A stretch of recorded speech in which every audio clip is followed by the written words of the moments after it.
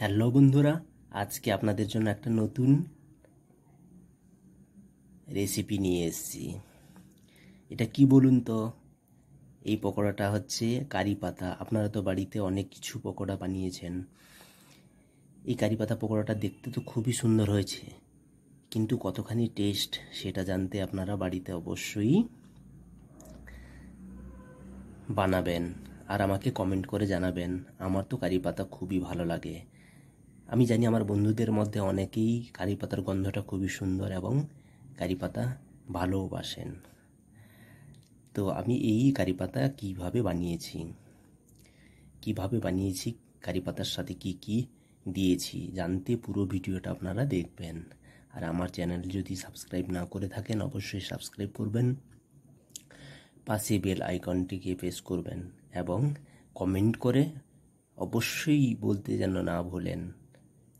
কেমন হয়েছিল? কারি পাতা পকোড়া আপনারা বাড়িতে বানিয়ে টেস্টটা কেমন হয়েছে? চায়ের সাথে বিকেলবেলা খুব সুন্দর লাগবে এবং মুড়ির সাথেও কারি পাতার পকোড়া খেতে খুবই ভালো। পুরো ভিডিওটা দেখবেন। স্কিপ না করে দেখলে বুঝতে পারবেন কারি পাতার পকোড়া এত সহজ এবং এত টেস্টি এক আমি রেসিপি নিয়ে এসেছি আপনাদের জন্য। ভিডিওটা পুরো দেখবেন। থ্যাংক ইউ সো মাচ আর বন্ধুদের বলব, আপনারা ভালো থাকবেন।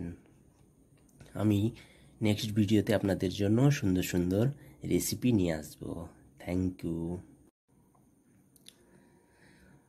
আজকে আমি বানাবো কারি পাতার পকোড়া। কারি পাতা সব বাড়িতেই প্রায় কম বেশি থাকে। কারি পাতা পকোড়া বানাতে আমি কি কি ব্যবহার করব, সেটা আজকে আমি দেখাবো এবং বানিয়ে আপনাদের দেখাবো এই ভিডিওতে। এতে আমি নিয়েছি কিছু কারি পাতা ধুয়ে পরিষ্কার করে সুন্দর দেখে কারি পাতা আমি নিয়েছি। এতে দেবো আমি হলুদ পাউডার কাঁচা লঙ্কা পাউডার কালারটা ভালো আসবে। আর কিছু নেব আমি কালো জিরে। ব্যাস, এই কিছু। আর খুব একটা বেশি কিছু আমি নেব না। এরপর আমি দেখাবো আপনাদের একটা পাত্র নিলাম, পাত্রর মধ্যে আমি কিছু বেসন নেব। কতটা পাতা নিয়েছেন তার উপরে, সেই বুঝে আপনি বেসনটা নেবেন। আমি ছটা মতো বানাবো, তাই আমি টেবিল চামচ, তিন টেবিল চামচ বেসন নিয়েছি। এরপরে আমি হলুদ পাউডার, লঙ্কা পাউডার, কালো জিরে, এটা পুরোটা দিয়ে নিলাম। পরিমাণ মতো নুনও দিলাম। এতে ভালো করে একটুখানি জল। এই বেসনটা মাখাতেন একটু যাতে খুব একটা ঘন না হয়। ভালো করে আমি দেখাচ্ছি।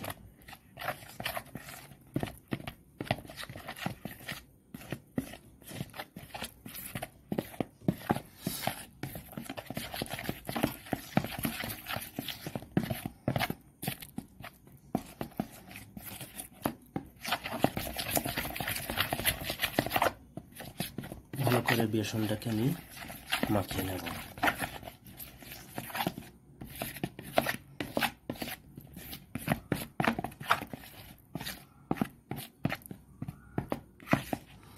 খুব ঘনও হয়নি এবং খুব পাতলাও হয়নি। এইরকম একটা আপনারা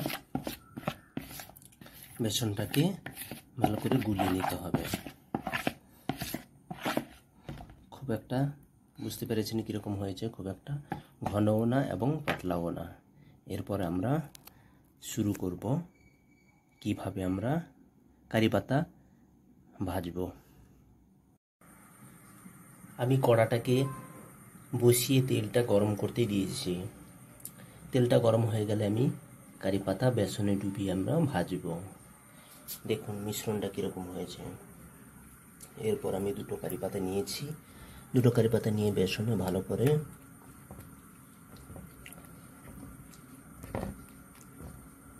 ভালো করে আমি ডুবিয়ে নিচ্ছি, দেখুন। এরপর আমি কারি পাতাটাকে দিয়ে নিলাম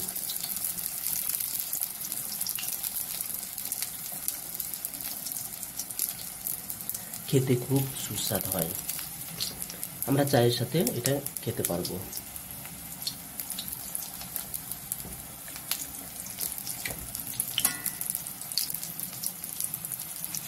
আঁচটা না কমালে কিন্তু পুড়ে যেতে পারে। আমি কম অল্প আঁচে আমি এটা ব্যবহার করছি।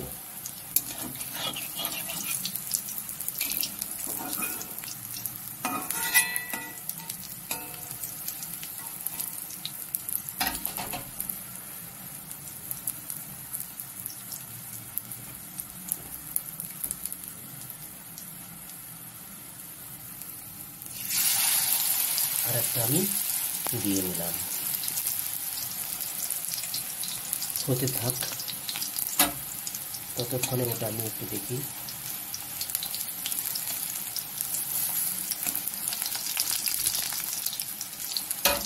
কারি পাতা যারা ভালোবাসেন, কারি পাতার যে গন্ধটা খুবই সুন্দর, অনেকেই বেশিরভাগ মানুষই কারি পাতা গন্ধটা ভালোবাসেন। কিন্তু কারি পাতা যারা খুব ভালোবাসেন, এইভাবে পকোড়া বানিয়ে আপনারা চায়ের সাথে গরম গরম খেতে খুব মজা লাগবে। আপনারা বাড়িতে অবশ্যই এই কারি পাতার পকোড়াটা অবশ্যই বানাবেন। আর আমাকে কমেন্ট করে জানাবেন, আপনাদের কেমন লেগেছে কারি পাতার পকোড়া?